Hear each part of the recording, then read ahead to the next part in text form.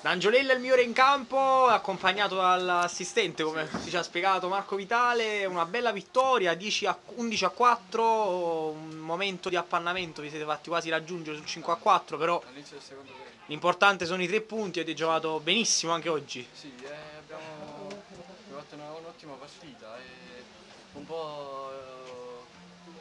siamo persi un po' all'inizio del secondo tempo, però... Senti, pensi che la stanchezza si è fatta sentire? Ricordiamo, voi fate sempre Sempre due due partite.